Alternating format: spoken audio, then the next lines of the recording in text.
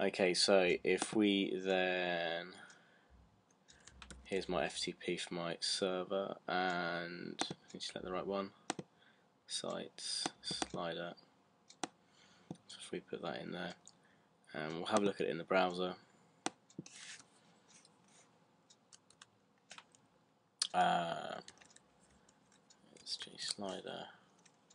Index HTML right at the moment all you can see is these the two buttons the reason we can't see any of the images is because we haven't defined a, a height and width for them so at the moment um, the slider doesn't uh, doesn't think there's actually anything there although quite clearly we have that there. So what we need to do now is we need to create the CSS styles.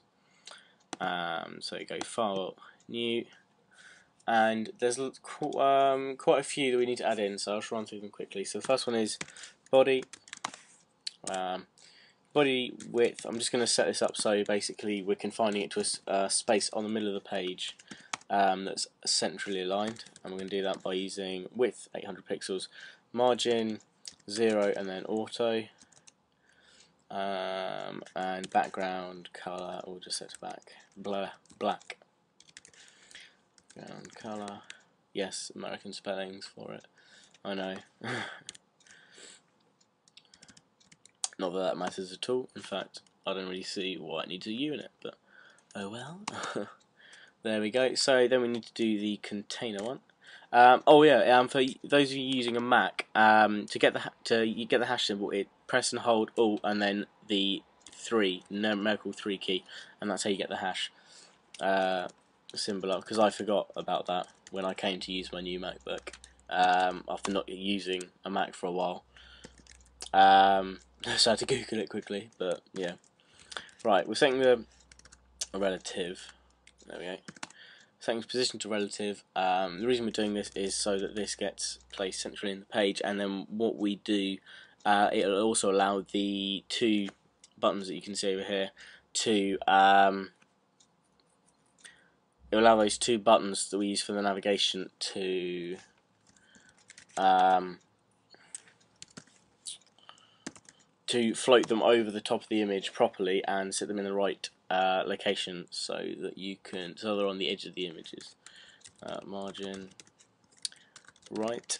What we're doing now is just pulling it in a bit so because actually the width I'm probably going to use for the slider is 700 pixels so we'll create a bit of space either side of the container uh, which will allow us to put the obviously will allow us to put the buttons either side of it they're not that big but just in case then we'll do width is 700 pixels. And in fact let's down margin top. Put another 50 in there. Brilliant. And finish that one off.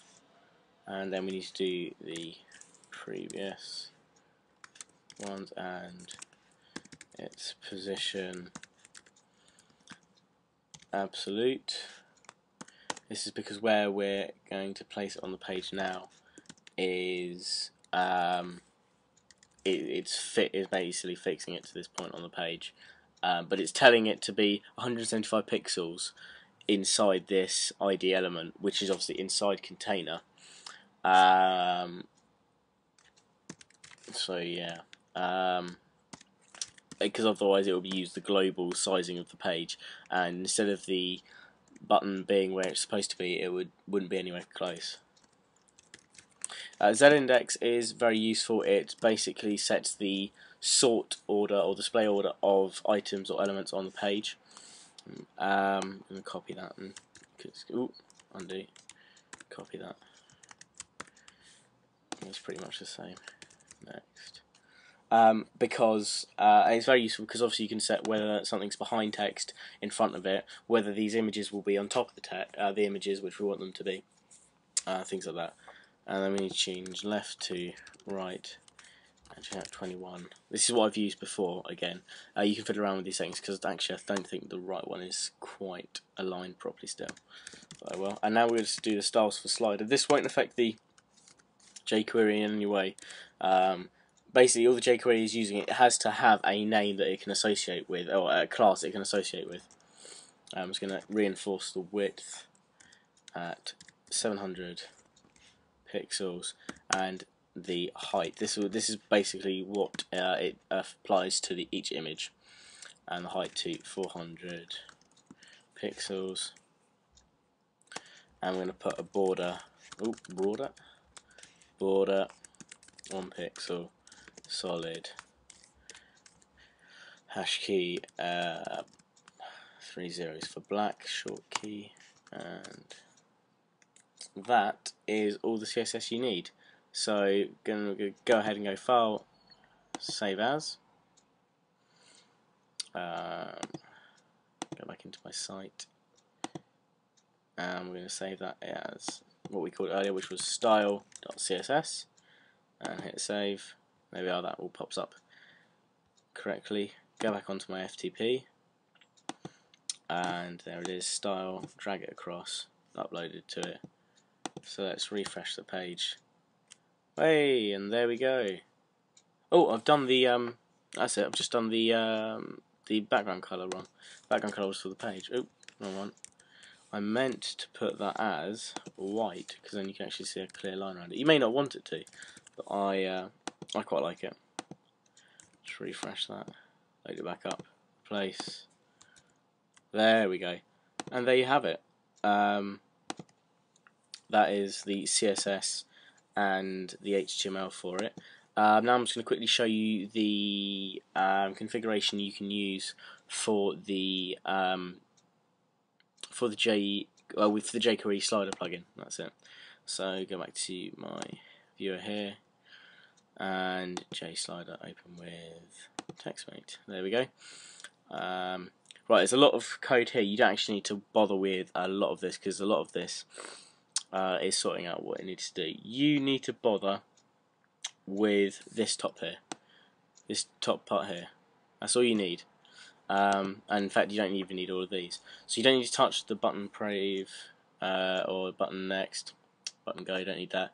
Mouse we don't need. Right, auto. So if you set that to true, save that, and upload it, for example. So JSlider. Oop replace, it will automatically slide it for you, which can be uh, quite nice, quite dynamic uh, as well on the page for person to load up the page and then see the images scrolling across. Um, really, really nice. Uh, you can obviously then uh, go back and forth as you wish, um, but the auto will then kick back in and it'll be just be flowing around to the right. Uh, so I'm not TextMate again. So I'm going to put that back to false. Uh, the speed is, you know, you can change it. Um, obviously, the larger the number, the longer it's going to take. So if I set that to 800 instead of 1800, and let's save that. Replace. Refresh it'll do a lot quicker. And this is where you get some juddering in Safari. It doesn't happen so much in Firefox or Internet Explorer, um, but occasionally Safari you will see it juddering across the top a little bit. Uh, which isn't so good, but it's actually working pretty well at actually at that speed. But you don't necessarily really want it at that. So keep it at that. Uh, easing, I uh, don't need to bother about that. Uh, does it already for you. Um, vertical um, that would be if you wanted it to go up and down I think instead I haven't actually played around with those things let's try it true and that's because presumably then you would then just move the your buttons around uh, place them up and down instead yes it's going to come from the bottom this time which again is quite cool so you can do that uh, so you'd have an up and down maybe um, That'd be quite cool. Um, I like mine going round. And you and then circular. Um, if you don't, if you change that to false, it will basically it won't keep looping. Um, basically, uh, the rest of that you don't need to touch. Uh, and that is pretty much it. I hope you've enjoyed this tutorial. If there's any, if you've got any more questions, you know, just please let me know. Post a comment, uh, subscribe if you haven't already, and uh, watch out for my next video, uh, few videos. Cheers, guys.